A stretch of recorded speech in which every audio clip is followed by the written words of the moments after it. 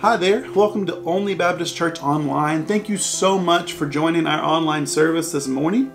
We are in a crazy time right now, a time where we have a just to have a ton of patience in a time that is uncertain. As a church, we have a lot of things to consider. Things like when are we going to meet back again and what is that going to look like? What should the church look like right now? How should we go about doing ministry at this time? What's too much? What's not enough? How best can we love our community right now? And if this season is going to change how we do church for the future as well. As scripture teaches us, we are to go to God in prayer in uncertain times, not necessarily looking for an answer, but looking for what our next step is. With this, the elders and deacons have asked Pastor Tubbs to change what him being uh, our lead pastor looks like for the next two weeks. We have asked Pastor Tubbs to go to the Lord on our church's behalf and to seek what our church's next step is and what that'll look like for this online season and for the, the rest of the year and uh, on beyond that. During this time, Pastor Tubbs will be in deep in God's Word and deep in prayer every day for the next two weeks.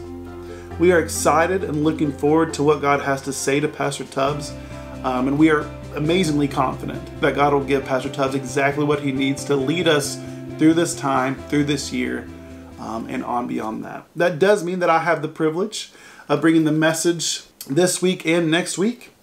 We will be in Philippians chapter 1 today, and we'll be going through the book of Philippians for the month of May. Yes, did you know that we are in May? Because I didn't until yesterday. Um, I have gotten my days and even my months mixed up so many times during this uh, during this time. So we will be in the book of Philippians uh, on Sundays and Wednesdays for the month of May. Philippians is often known as the book of joy. And while that is a theme in the book, there is something else um, that I feel like is more of the main message, more predominant in the book, and that is partnership for the gospel. Every chapter in Philippians is consumed by the gospel. Everything that is commanded for the sake of the gospel and partnering for the further the gospel and how the gospel continues to transform our lives uh, for those of us who are believers. So that is what we're going to focus on today, since that is what the first chapter is about and the entire book is about. That's what we'll focus on today. We are going to look at chapter 1, but we're going to focus mostly on verses 27 through 30. Before we go there, we're going to do an overview of verses 1 through 26 and, and see how they set up for, for the command Paul gives in verses 27 through 30. Go ahead and look at your Bibles and skim and follow along as we uh, do an overview of verses 1 through 26. Um, in the first 11 verses, Paul thanks God for the church and how the church has a very special place in Paul's heart. The letter that Paul writes to the, to the Philippians is unique. It is the only letter where Paul does not have to write because of uh, certain issues that are going on in the church. Instead, this is a thank you letter that Paul has written to the Philippians. Paul has not just ministered to the Philippians, they have ministered to Paul in multiple ways, including uh, sending him finances on multiple times. Have you ever had someone in your life where you think of them and you're, you're thinking of them just because how awesome they are? You're thinking of them just because how amazing you are. And when you think of them, you think um, how much you would love to just sit with them and be with them, especially during this time. Um, when you think of them, they don't they don't turn on you. They don't bring a lot of drama in your life. They don't drain you like others might. Instead, being with them just brings encouragement to you it lifts you up. And when you talk to them or see them, often your day becomes better. They bring happiness to your life. And that is how Paul saw the Philippians. Then we see in verses 20, uh, verses 12 through 18 that Paul speaks of his imprisonment, where he is, while he is writing this letter, is in prison. Paul talks of how there have been many in jail who have come to believe in Jesus we see that God has changed literally one of the absolute worst situations and brought the absolute best outcome.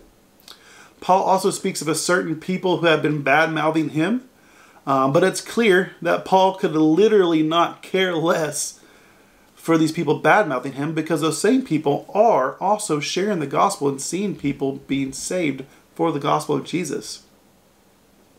Paul says, as long as they share the gospel and unbelievers are receiving the salvation for the first time, who cares what they say about me? May they continue to do so so others may be saved as well. Then in verses then in verses 19 through 26, Paul speaks of his desire to bring God glory and honor in what he does uh, and who he is. Paul also is conflicted in this section.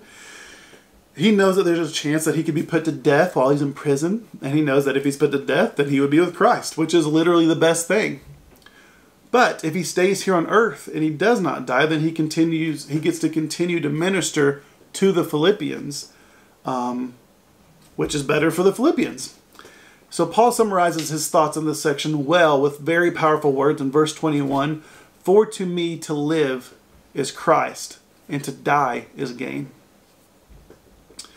Let's go on and read verses 27 through 30. Philippians 1 27 through 30 and that's what we'll, we'll focus this this morning.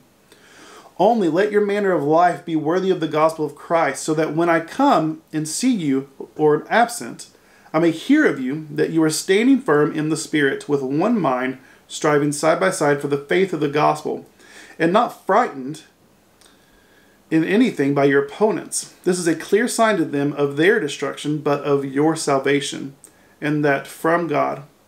For if it has been granted to you for the sake of Christ, you should not only believe in him, but also suffer for his sake, engage in the same conflict that you saw I had, and now here I still have.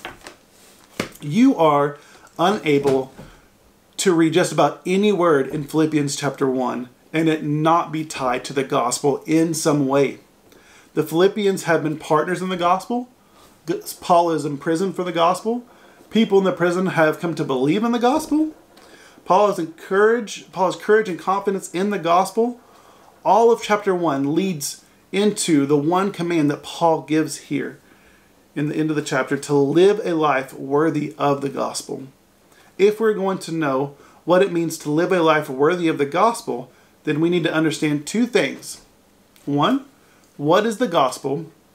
And two, how do we live a life worthy of that? What does that mean? Um, so, first question is what is the gospel? Paul mentions the gospel many times in chapter 1, and he will do many times for the rest of the book. So, what does Paul mean by the gospel? If we want to live a life worthy of it, then we kind of need to know what it is that we're looking at.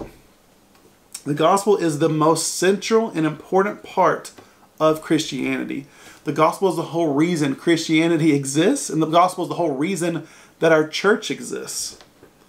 Let's pretend that I took a poll of 50 people who attended church regularly, and I asked them one question, and that question is, What is the gospel? If I asked 50 people what is the gospel that were regular church tenders, I would likely have 50 different answers, or at least many, many different answers.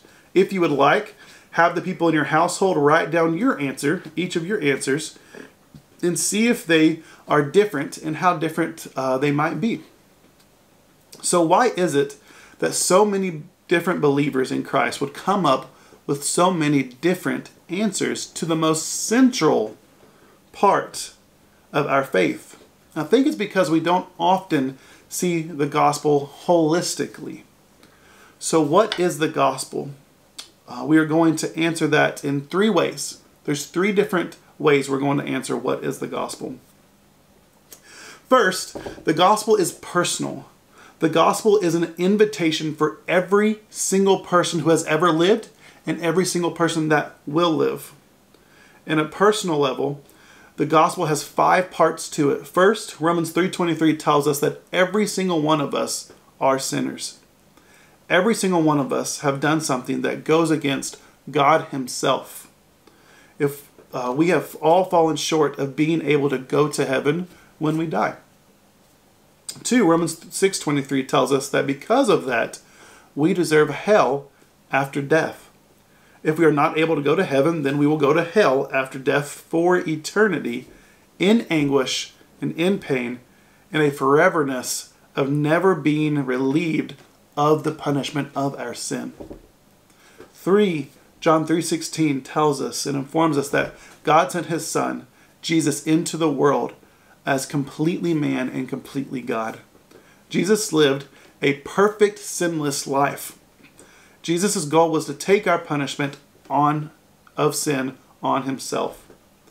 And 4, Philippians 2 6 through 8 continues and tells us that Jesus did this by allowing himself to be crucified on a, cro- on a cross. On a cross, Jesus, being perfect, was the perfect sacrifice for our sin. He died and then overcame death itself as he rose from that death. So Jesus was sacrificed to take the punishment of our sin and then overcame sin by raising from life to death. And 5. Mark 1:15 tells us now for us if you want to be saved from your sin, all you need to do is believe in the story and repent of your sin. When I say repent, I mean two things.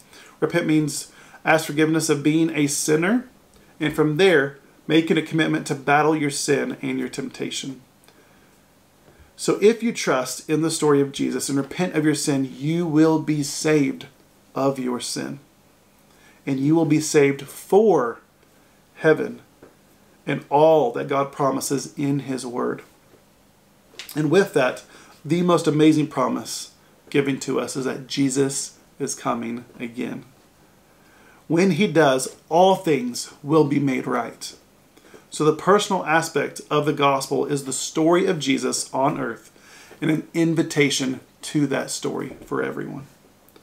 Now, if we were, if I were talking to someone who was an unbeliever, who did not believe in Jesus, um, that is all I would share with them, is those five things. That's all I would share with them. But if we as believers want to see the gospel in its entirety, there is a second part um, that we need to be reminded of.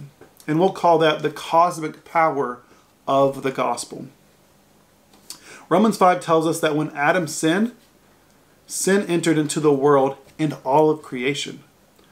Romans 8 20 through 22 tells us, For the creation was subjected to futility, not willingly, but because of him who subjected it in hope that the creation itself will be set free from its bondage to corruption and obtain the freedom of the glory of the children of God.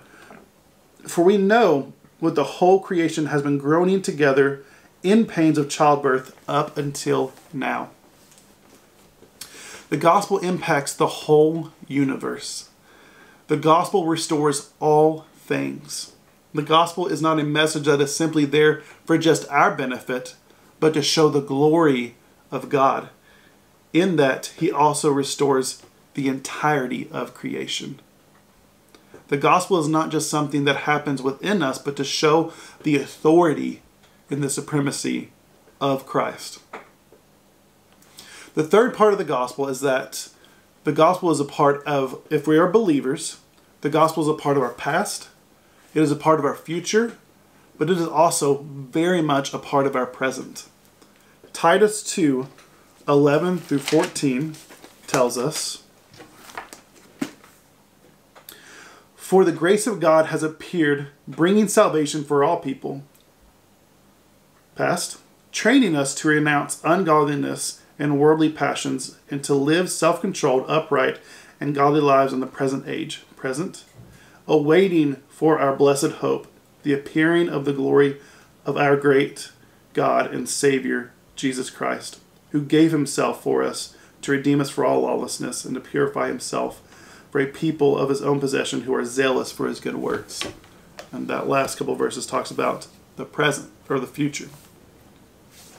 If you're a believer, the gospel is not just something that has happened to you in salvation. It's, the gospel is not just something that we are able to look forward to when Jesus comes back. The gospel is to impact our lives currently as we live as believers. And that brings us to the question of how we can live a life worthy of the gospel. that is what Paul is talking about here. Currently living a life that is continually impacted and transformed by the gospel now. So, how do we live a life worthy of the gospel? And we're going to read Philippians 1 27 through 30 one more time. Philippians 1 27 through 30. Only let your manner of life be worthy of the gospel of Christ, so that whether I come to you, come and see you or I'm absent, I am here of I hear of you that you are standing firm in one spirit, with one mind, striving side by side for the faith of the gospel, and not frightened in anything by your opponents.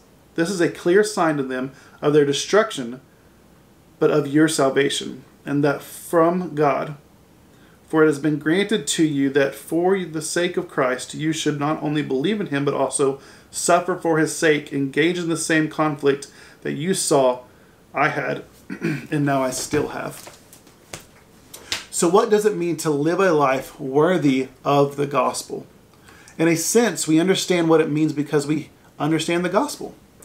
If we live a life um, that has a gospel perspective, we understand that the gospel calls us to continually repent and fight our sin and temptation, and to do away with anything in our lives that would that would stop us from knowing Jesus more.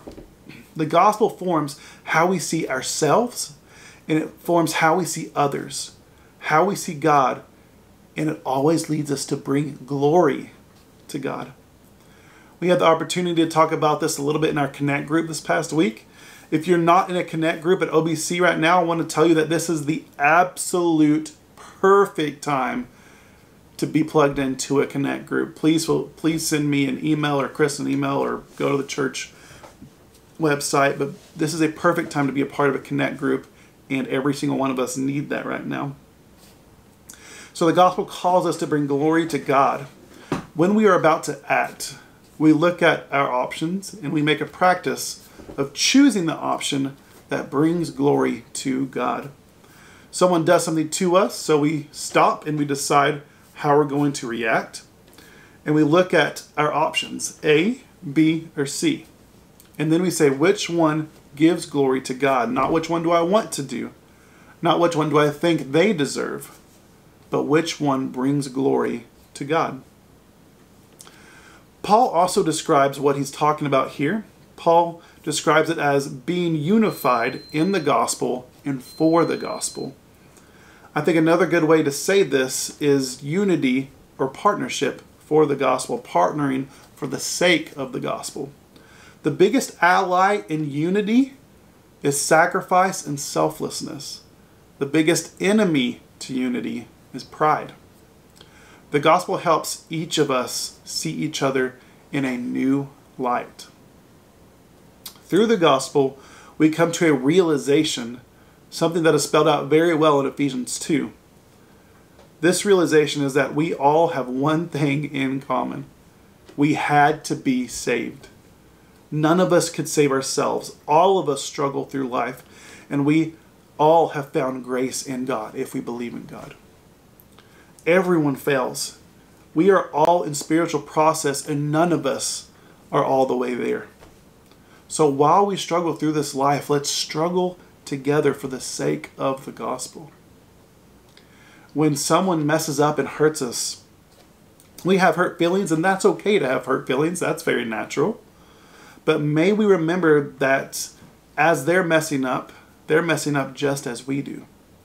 Our feelings matter, but may they not matter more than the gospel. That is also true for people who mess up um, that we don't like as much. It's much easier for us to give a little grace to those who we like more, but when it comes to those people who we don't like as much, it's a little bit more difficult. Um, so when it comes to those people, we don't have to be their best friends. We should probably keep our distance from them uh, at times. We don't have to make a lot of small talk with them, and we don't have to fake be nice to them. But we are always on their team for the sake of the gospel. Ephesians 4 2 says it well when it says, bearing with each other in love. And as we continue in this knowledge, of the gospel, our feelings will gravitate more towards partnership for the gospel and less on defending ourselves. Much like Paul is in verse 15 through 18. where Paul's feelings aren't hurt because there's people talking bad about him. His feelings, he's feeling joy because the gospel has been shared. As the gospel transforms us, it transforms our feelings as well. As the gospel transforms us, discipleship becomes a priority for our lives rather than just something that happens randomly or arbitrarily. Living a life worthy of the gospel does not mean that God is calling, it, calling you to clean up your act. Living a life of the gospel worthy of the gospel does not mean that you need to do more good things. Living a life of the gospel does not mean that you are that you that God is calling you to do less bad things. Living a life worthy of the gospel means submitting ourselves to Jesus and denying ourselves daily. Jesus said it best in Mark 8 34. And calling the crowd to him with his disciples, he said to them, If anyone would come after me, let him deny himself, take up his cross, and follow me. To live responding to the gospel means I deny myself and submit to what God wants to do through me as He transforms me by the gospel and for the gospel. Thank you so much for joining us. Uh, and we, we pray and we long and we yearn for the day that we can come back together as a church family. Let's pray.